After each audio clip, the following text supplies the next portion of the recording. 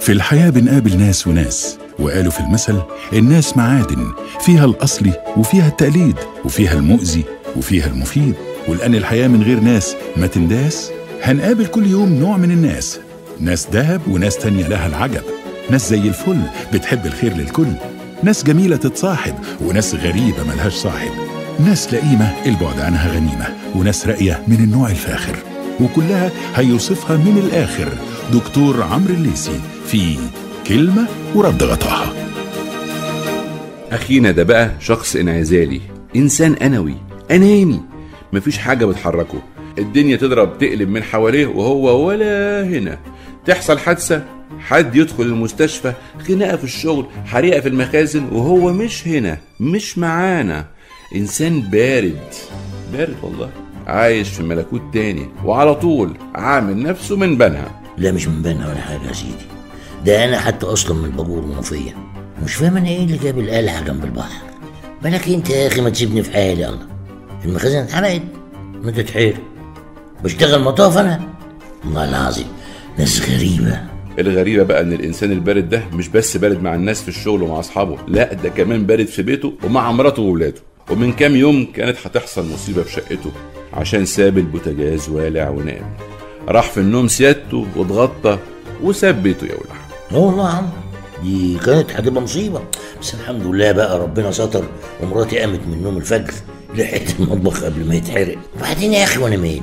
هو المطبخ والبوتاجاز دول كانوا مسؤوليتي ولا شغلتها هي؟ الله. عجيبة والله. ومشكلة عبد العزيز واللي زيه البردين أعضاء حزب وأنا مالي إن البرودة والبلادة وعدم الإحساس بالناس دي بيجي على دماغهم في النهاية. لأن كل إنسان بارد بيجيله يوم يحتاج فيه تعاطف الناس معاه. البارد يا سادة مهما أخفى مشاعره وبخل بيها على اللي حواليه بيجيله يوم يحتاج يتدفى بالناس. بيحتاج حد يطبطب عليه بأزمته يقف جنبه في مشكلته. يعني يحتاج حد يزوره في المستشفى لما يعمل عملية لا قدر الله يا زيزو أه والله يا عمور أخويا الا دي إلا دي بقى وغايتني قوي بجد يعني. لما قعدت في المستشفى أسبوع ومحدش سأل عليها من الزملاء. والله زعلت قوي قوي بجد يعني. حز في نفسي ان اترمي كده اهو الرميه السودة دي ومحدش يسأل فيا. زعلت حقيقي حقيقي والله يا أخويا. شفت بقى يا زيزو شفت؟ أو من أعمالكم صلت عليكم. ولما بتقدم السبت بتلاقي الحد والدنيا إيه؟ هات وخد هات ود وخد حنية هات تعاطف ومشاركة. وخد إحساس يا عديم الإحساس والمفهومية. لا لا لا لا لا. ليه الغلط ده بس يا راجل؟ ما هو أنت أصلا بتقول الكلام ده؟ عشان ما تعرفش الناس. ما جربتش الندالة اللي أنا شفتها منهم. ما جربتش الجحود والمعاملة الوحشة من أقرب الناس ليك. وأنا يعني بارد كده بمزاجي. ما هو اللي شفته في حياتي خلاني أبعد عن الشر وغنين اخويا لا يا زيزو الناس والأهل والأصحاب عمرهم ما كانوا شر. وأي مشكلة أو أزمة حصلت لك في حياتك ما تخليكش تنعزل وتحط مشاعرك في تلاجة. وما بينهاش لحد بالشكل ده. مشاعرك دي لازم تعبر عنها للي حواليك يا زيزو. دي الناس للناس يا أخويا. الناس للناس يا زيزو. وتديني ود إيه؟ أديك عنية ولا إيه؟ آه والله يا عمرو فكرتني. ده أنا حتى نسيت عيد جوازي الأسبوع اللي فات. وطول الأسبوع المدام زعلانة ومش عارف مقموصه ليه. مش عارف ليه يا أخي الستات بتهتم بالشكليات قوي عيد ميلاد وعيد جواز وأسبوع. ناس فاضية والله العظيم بجد.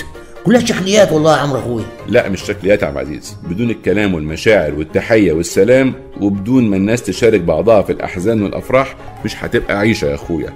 هتبقى الدنيا ساقعة وبرد يا زيزو. والناس الباردة اللي زي سعادتك دول يروحوا بقى يعيشوا لوحدهم في سيبيريا في القطب الشمالي يا عبد العزيز في القطب الشمالي في سيبيريا معدبة بقى عمرو. ليه بس كده؟ كل ده عشان كافي خير شري.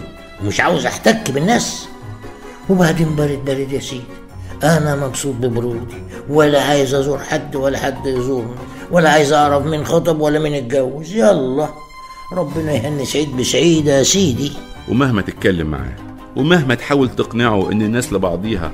وإن الناس للناس. وأن خيركم أنفعكم للناس. مفيش فايدة. بذمتكم. ده تقولوا له إيه؟ وتتصرفوا معاه إزاي؟ ابعتوا لنا تعليقاتكم على صفحة برنامج كلمة ورد غطاها مع عمرو الليسي حكاياتكم مع أنواع الناس اللي بتقابلوها في حياتكم. هنتكلم عنها في كلمة ورد غطاها.